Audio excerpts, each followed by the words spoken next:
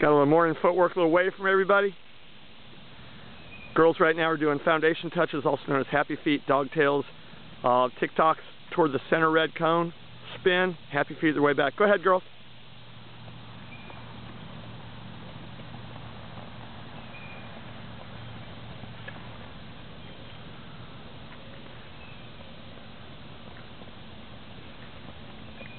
Turn, come on back.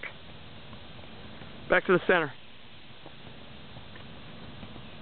Make sure you get a little spin using the inside of your feet the whole time. Oh, Molly's cheating and doing a pull back.